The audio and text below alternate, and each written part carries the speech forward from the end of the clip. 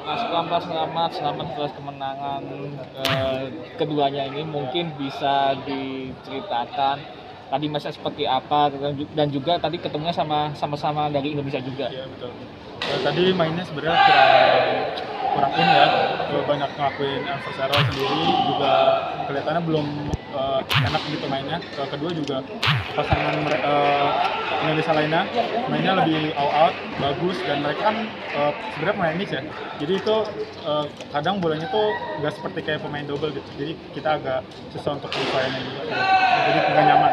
Mungkin ada faktor lain yang bisa membuat kalian bisa menang di laga kali ini.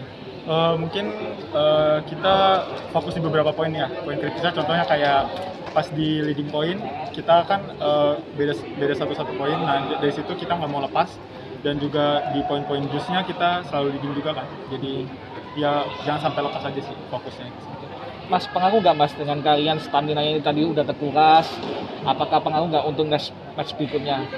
Eh, jujur eh, mungkin ada pengaruh sedikit ya apalagi kan kemarin matchnya kita main terus setiap hari tuh dan lawan-lawannya juga bagus-bagus kan ya Eh, mungkin ada eh, terkuras sedikit tapi eh, dengan recovery yang sedikit ini kita akan maksimalin jadi menurut saya masih bisa sih Lihat fans yang ada di sini mungkin dari Mas Ahmadnya sendiri ada fans yang teriak Mas Ahmad, ayo semangat semangat ya.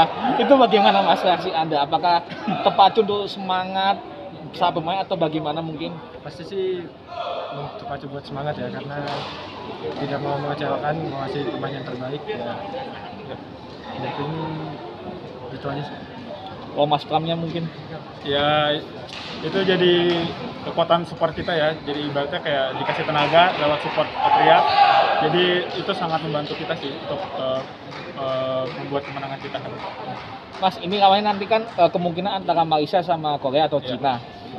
Ada eh, ada sedikit sudah tahu nggak kekuatan dari mereka mungkin? Ya mungkin kalau yang dari Korea sempat ketemu kan kemarin di minggu kemarin kalau misalkan yang Malaysia mungkin karena mereka kan lebih senior dan juga eh, pernah perak eh, Olimpik ya jadi mungkin mereka lebih berpengalaman tapi kita mencoba olah aja sih nah untuk kalau pasangan Cina mungkin nanti babak selanjutnya ya jadi kita fokusnya step by step aja dulu untuk besok aja dulu Siap. Cukup. Terima kasih.